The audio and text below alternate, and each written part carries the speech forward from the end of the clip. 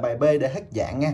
Bài bài B nè, đó là x trừ 2 phần 3 lớn hơn bằng x trừ x trừ 1 phần phần 2 thì thứ nhất các bạn phải biết, x này chính là x phần phần 1 vậy thứ nhất các bạn phải tìm được mẫu nước chung của 3 1 và 2 thì đối với một các bạn không cần để ý, vậy các bạn phải tìm mẫu nước chung của 3 và 2 hay nói nôm na chính là tìm bội chung nhỏ nhất của của 2 và và 3 hoặc là của 3 và 2 thì các phẩm như sau mình chỉ bấm để các bạn gặp những cái trường hợp những cái số lớn á, các bạn còn biết kỹ năng mà các bạn bấm nha mọi người. Rồi đó là các bạn nhớ nhớ cái phím LCM mà bấm on nè alpha LCM 2 shift phẩy 3 đóng ngoặc bằng nói ra là 6 được chưa?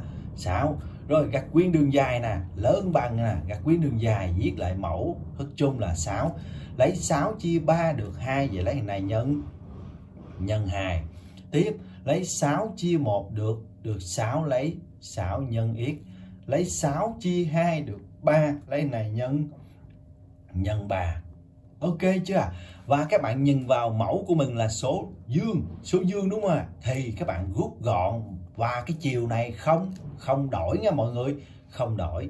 Tương tương đương rồi, tới đây thì các bạn chỉ cần phân phối vào. Vậy là mình ra 2x trừ 4 nè. Lớn hơn bằng 6x trừ 3x cộng cộng 3 và ở đây các bạn có thể, một là các bạn rút gọn trước rồi các bạn chuyển với.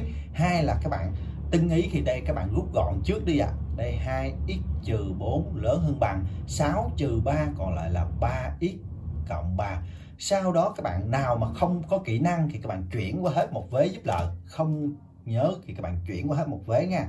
Đó, chuyển qua hết một vế nè. Nhớ chuyển vế đổi đổi dấu lớn hơn bằng không. Chuyển hết rồi vế bên phải còn lại số số không rồi 2 trừ 3 các bạn không biết thì bấm máy tính ra là 1x trừ 1x trừ 4 trừ thêm 3 nữa là trừ trừ 7 lớn hơn bằng bằng 0. rồi, tới đây các bạn chuyển ngược lại là trừ 1x lớn hơn bằng 7 đây, nhân hay chia số âm, chiều đổi nè các bạn thấy không ạ à?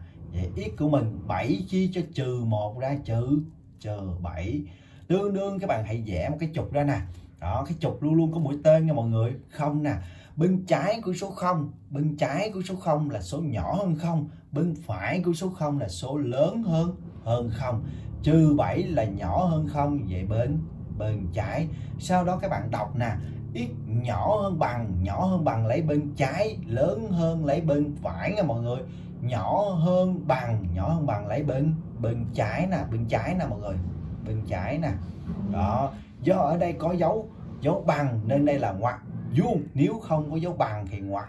Tròn, lấy bên trái, bỏ bên bên phải. Ok không mọi người.